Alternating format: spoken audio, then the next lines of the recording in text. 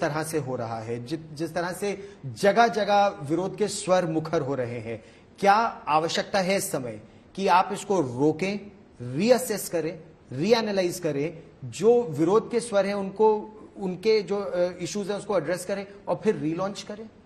नहीं।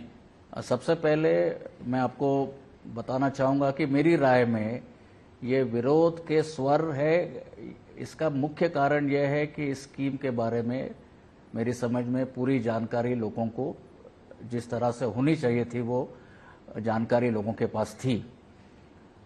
तो जैसे जैसे लोग इस स्कीम को समझ पा रहे हैं, खास करके युवा तो जितनी भी आशंका या अप्रहेंशन या गलत धारणा लोगों के या युवाओं के मन में थी, उसका मुझे लगता है अभी पर्याप्त समाधान हो गया है।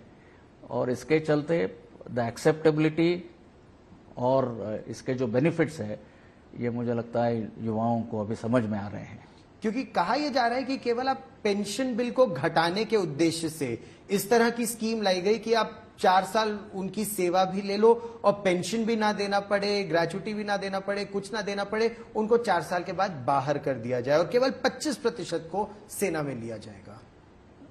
ये भी मुझे लगता है एक्सट्रीम पोजीशन है और बट ये सच नहीं है।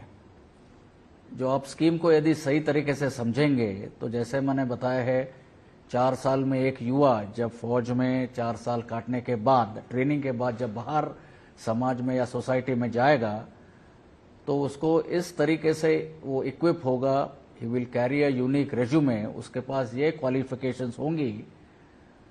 बिना और डिसिप्लिन और जो फौज के वैल्यूज़ और क्वालिटीज़ को छोड़कर मुझे लगता है एक पर्याप्त मात्रा में वो अपने आप में, अपने आप को समाज में एक जगह बना पाएगा।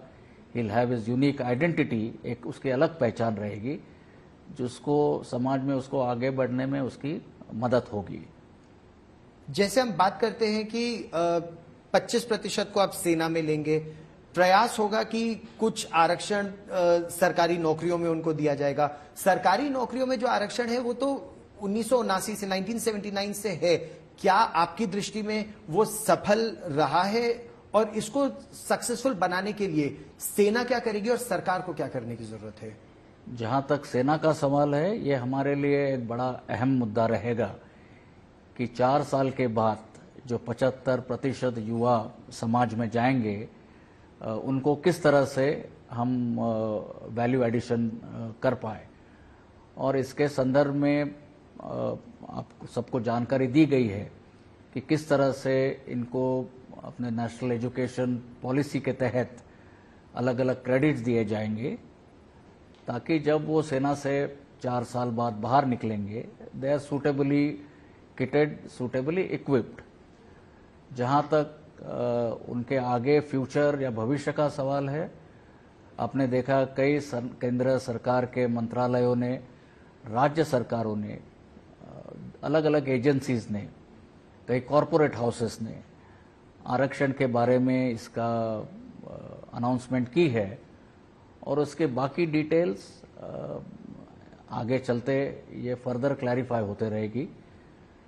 मैं अंत में सिर्फ़ ये आश्वस्त कराना चाहूँगा युवाओं को कि जब आप चार साल सेना में टाइम काटने के बाद बाहर निकलोगे आपके पास पर्याप्त या उससे भी अच्छी मात्रा में क्वालिटीज़ क्वालिफिकेशन हुनर आपके पास होंगे and this will be a unique opportunity which they will have to step out into the society.